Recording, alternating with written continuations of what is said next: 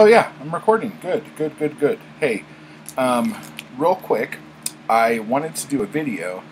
Um, I think I'm gonna do. I'll break this up, but um, I just got my big giant uh, hundred pack of two mil um, paperback polypropylene bags, and I'm going to um, clean some of these books off with my little kit here, and you're like, what's in the kit? What's in the kit? Okay, so I got all this stuff at Dollar Tree, okay? So, in the kit, we have some furniture polish to kind of clean up some of the book covers that have a glossy finish. So there's that.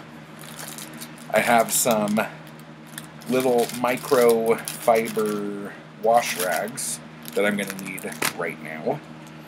Um, got a toothbrush to brush some pages up. Um, oh, this is my the eyeglass repair kit that will be used with the glue sticks, and then I have a thing of erasers here. So what I'm going to do real quick, just so I don't have to do this later, is um, just take out one thing that I need of each. Because I don't need a four pack of glue sticks in here.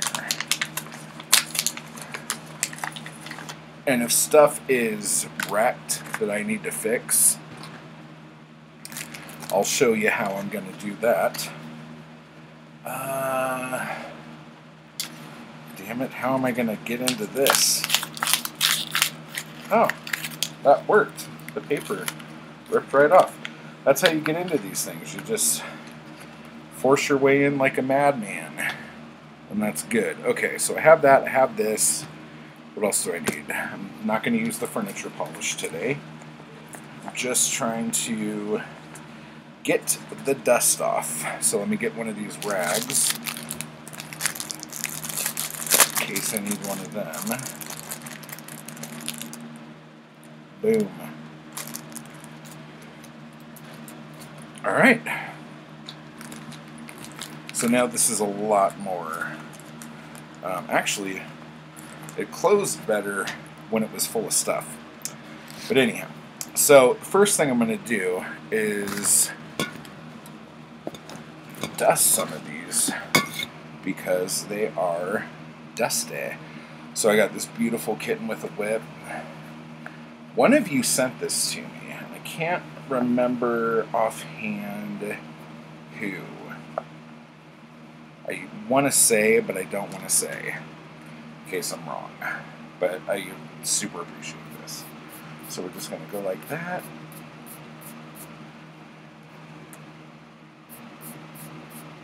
Soft bristle, bristle brush.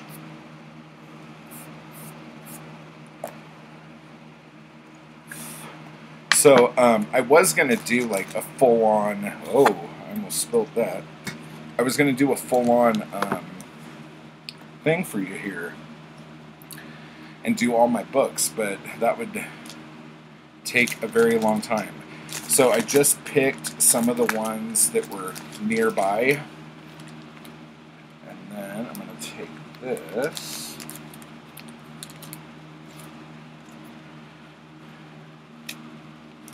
Drop her in. Oh, that is what we call a fit. Okay, so that's perfect. I'm very happy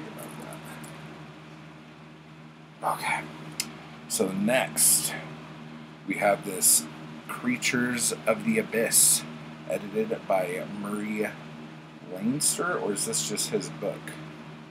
Might just be his book. Yeah, this is just his book. Okay. I thought this was a collection for some reason. Oops. Very dirty. So anyway, just gently brush that shit away. Oh, that's some cool artwork.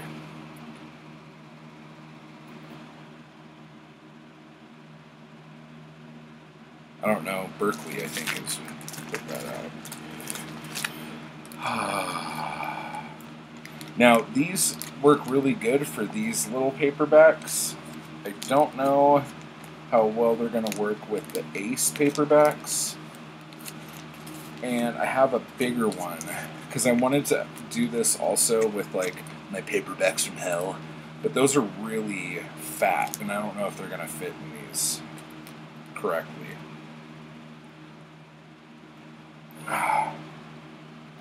Oh, this one's filthy. Not filthy, just very, very uh, dusty. If I drop this effing rag one more time. This is Monsters and Such. Murray Leinster. Leinster. Oh, this book is kind of falling apart. That's not good. You can see that. Yeah, it's not great. Look at that. That's pretty cool. Things.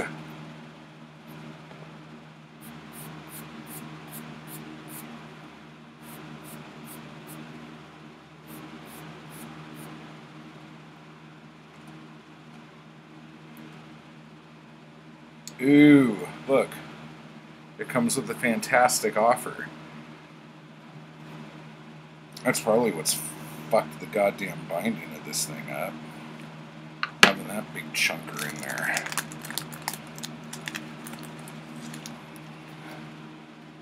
So, I'm curious, who of you uses bags? Because I've always been very strongly against it until my allergies started making me feel. So this one fits. That's okay. And since my allergies started to make me feel like I was dying. Oh man, just touching these books when they're this dirty. And they're dirty from being in storage and or being in the desert. Flying saucers are real. This is gold medal book number 107. Is that right? 107? This was one of the first um, numbered gold medal books because the first few were um, just testing the market. And I don't even think they said gold medal on them. They just said Fawcett. Is this going to tell me?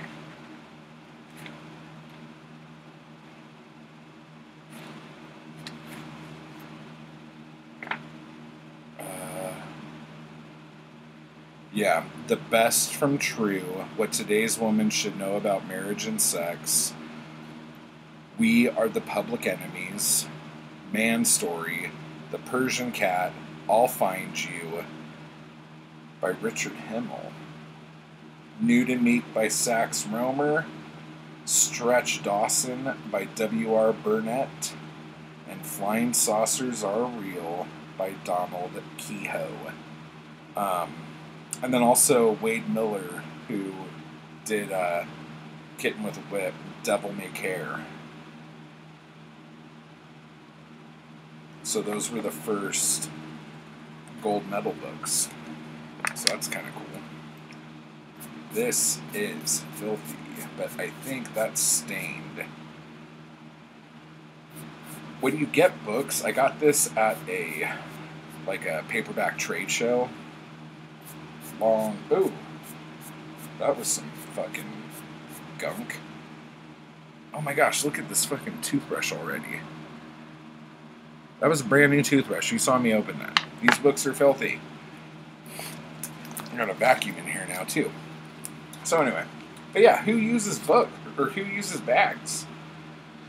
And you want to hear something funny? I have always been like 90% of the time, adamantly against bagging comic books. And I don't think you need to bag comic books anymore when they're not being printed on newsprint. But even like back in the day, like my newsprint comics, like I was always against it. Um, because uh, I'm like, well, how the hell am I going to read it if it's in a bag? And I've always felt the same way about books too. How the hell am I going to read these books if they're in bags? But a lot of these books I get, they're in such either perfect condition and they're super old and I don't want to fuck with them, or they're like this.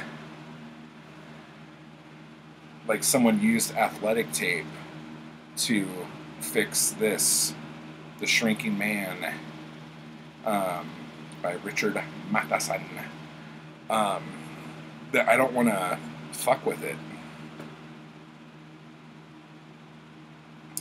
So I'll usually, if I find a book like this and I want to read it, I'll get it, but then I'll go buy um, like a newer copy of it.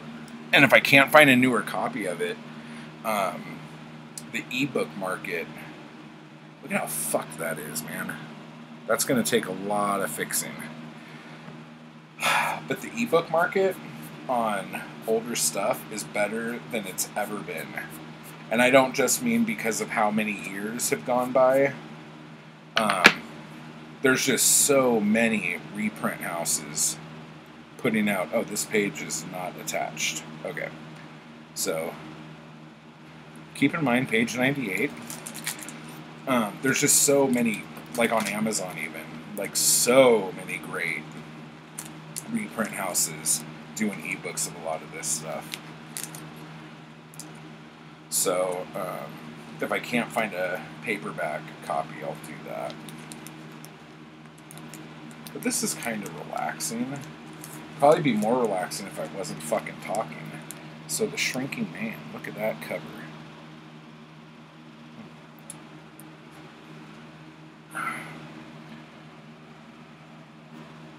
And here we have The Chinese Keyhole by Richard Himmel.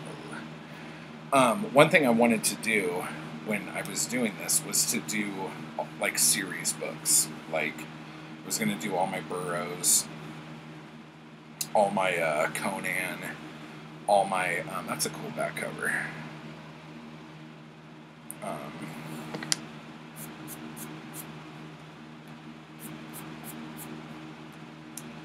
all my Gor books. And I'm hanging those up because I just love the artwork. The um, Boris Vallejo artwork on those is just sick. The books are absolute shit, and I could not get into it. I wanted to so bad because it's a big series and it has beautiful artwork, but those are just being collected for Boris. The Avenger by Matthew Blood. Not 100%, but I think this is also Richard Himmel. Matthew Blood is a um, pseudonym. Is it Richard Himmel? Might be Richard Himmel. I can't remember. Oh, no. It starts with a D. Not Donald Westlake. Um, Brett Halliday, I think. Halliday. I'm probably making shit up now. You guys are like, yeah, every name you just said is the same person. I don't think you're right, but you never know. So anyway, so I just grabbed a bunch of my gold medal books that were pretty close, and um, some other stuff to show off. Show off, yeah. And back when a book was 35 cents before my time. And this one I'm kind of bummed out about because I wanted to do this with all of my Fu Manchu books because I think I have all of them, but I don't have all of them in the same set. These books are also, um, they have diminishing returns for me. At least, like, once you read the first one, and actually the second one too is kind of interesting but it just becomes like this the same thing that happens every time come on That's weird.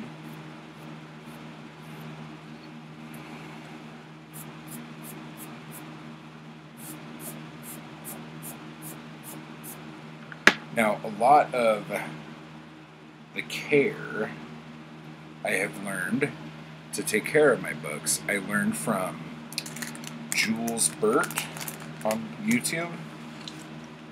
He has an amazing collection. And whenever he gets new shit, he goes into like a total cleaning spree. And he's like way more hardcore than I am. He's like a vintage paperback surgeon, is what I would call him. Or even like a plastic surgeon. Look at that. Yeah, these books are. Um, they, they did not age well as far as um, political correctness goes. But they're fun.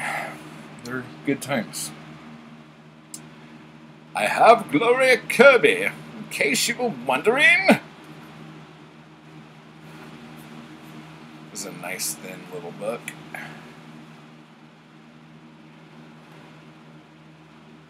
But man, like the spine is all not centered and shit. What The fuck is that?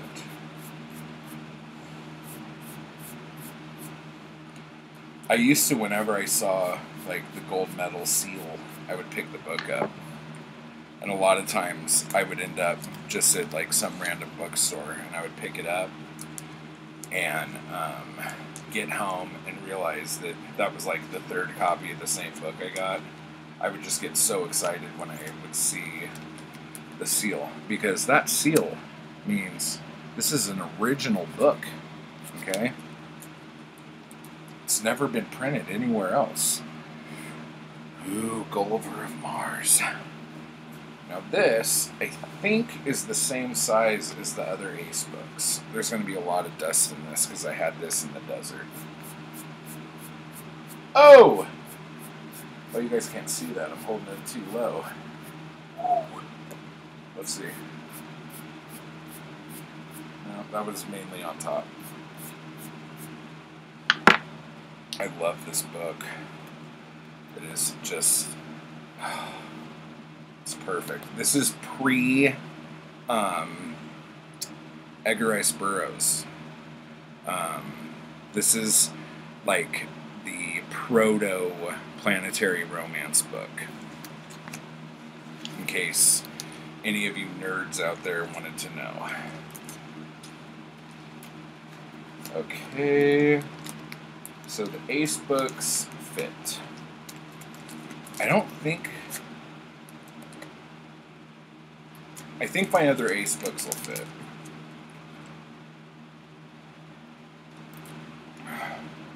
This one's kind of a thicker one, so we'll see how this goes. This one I'm putting in a bag. I don't like these photo covers, they're crap. Um, and this is a later printing of this stuff from Lancer Books. But um, it's one of the few. Oh, dude, that is filthy. It's one of the few um, Day Keene books I have, like paperbacks, originals.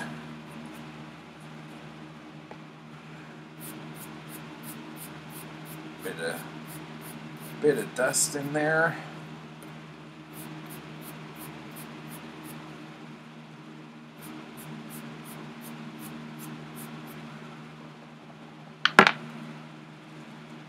This one's kind of falling apart too. It's funny because I think um, one of these books was better than the other, and it's probably the second one because the book is like split in the binding. And I could fix that with my glue stick and my eyeglass repair kit. Um, but anyway, so let's see how this fits because it's kind of big. Oh, this is gonna be. Yeah, I don't know if I'm gonna be able to fit the next one in one of these. Like, do you know if if any of you do bags like for the big fat like um, 80s paperbacks, what size bag do you have to get for those? So yeah, so we have. Oh, we have um, who has Wilma Lathrop and Murder on the Side. Uh oh. Okay. So this is the one that I'm actually worried about. The Great Shark Hunt. I don't think this is going to fit in these bags. But if it does, then my horror books will fit in these bags. But I think this is going to be kind of like me putting on a condom. What? What'd you say? Foul pig. Yeah. Um, yeah, when I got these on Amazon, there was one reviewer who was like, these bags suck, don't get them, they didn't fit my books. And I think he was doing big paperback from hell type books. Are we glad that we could call those books that? Like, is that something we're happy with? Or should we just go back to calling them 80s horror paperbacks? Because that's like calling a soda a Coke or a tissue a Kleenex or some lip balm, some chapstick. I don't think this is going to fit. Yeah, so what size bag do I need to get for these big fat books? Unless you're like, yeah, they fit, you're just an idiot. Tell me that too, because then I'll just keep trying. But because these bags are see-through, it's like trying to shove Wonder Woman into her invisible jet when you can't see it. Oh, oh, are we are we in? Another thing I say when I'm yeah, this isn't gonna work. Okay, so um, big fat books don't fit in these bags. So moving right along. Slapstick. I love that cover so much. This might have been the first Vonnegut book I read after um, Breakfast of Champions. I got these next few I'm going to show you from my dad, except that one. Because that one I got from Book Baron, which was my favorite, favorite um, used bookstore in the fucking world. So now you have retired. You are now going to hang on my wall and look at me every day.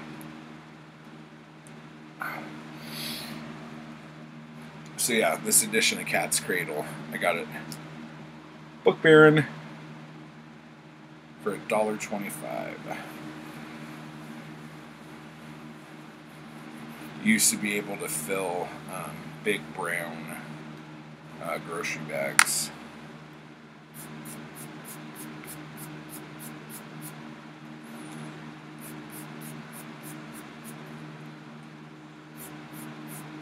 Oh my gosh, that is gross.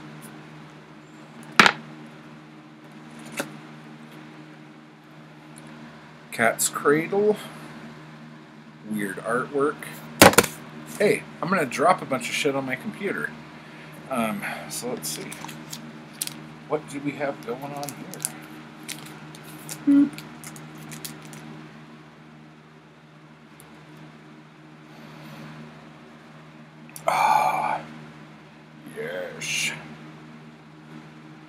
Sirens of Titan is a really fun one too.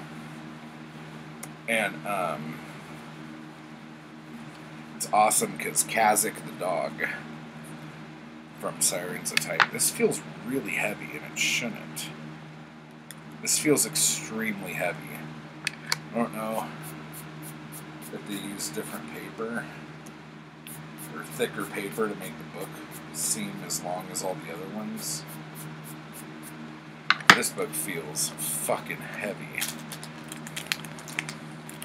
But yeah, so Kazak the dog from Sirens the Titan makes a guest appearance in Breakfast of Champions, and it's hysterical.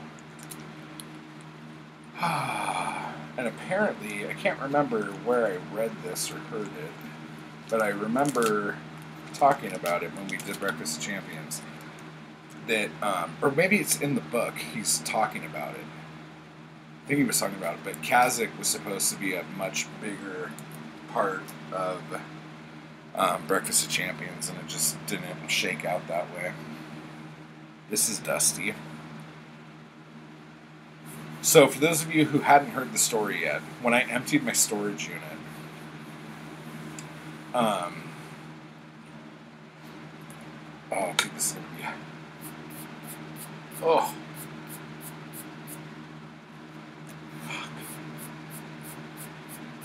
when I emptied the storage unit, um, I went and checked it out, and all of my stuff was covered with like a half inch of concrete dust because the um, place next door is a concrete place and they have like just mounds, huge mounds of concrete powder.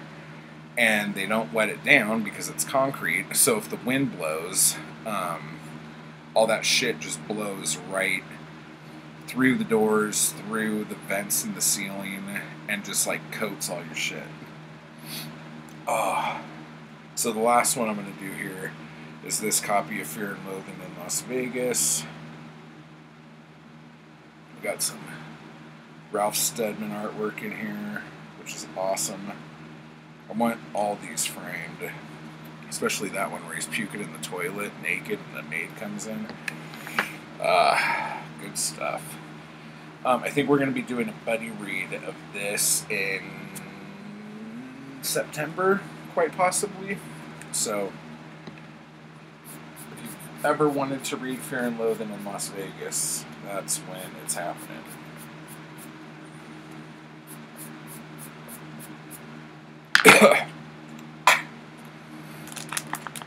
All right, so that was me cleaning off paperbacks and then putting them into bags.